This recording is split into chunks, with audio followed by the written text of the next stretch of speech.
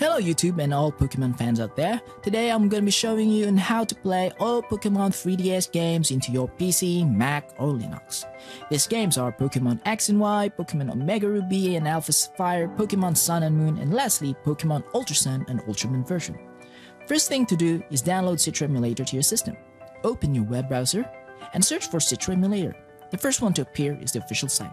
Go click on where it says download. Download a file that is compatible to your either PC, Mac, or Linux system. Download the file, run it, just click next to everything. Just really easy to do. Installation is just simple, and I'll just skip that part because I have already installed Citra Emulator into my Windows 10 PC. Now it's time to download all the 3DS Pokemon games you like. Open a web browser again and search for Xiphon 3DS ROM or go directly to xiphon3dsrom.com.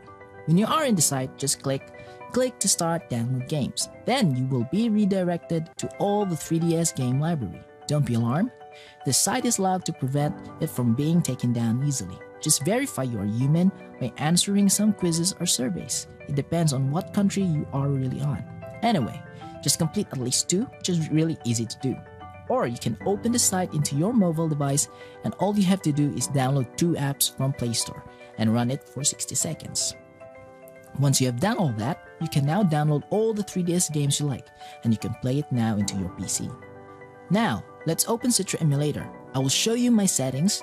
Just pause the video and copy my settings to your Citra Emulator. Minimum requirements are a 4-core CPU, and 8 gigs of RAM, and a graphics card like uh, a GTX 1060 or an AMD equivalent. Citra Emulator has improved so much over the years and you can play majority of the games now.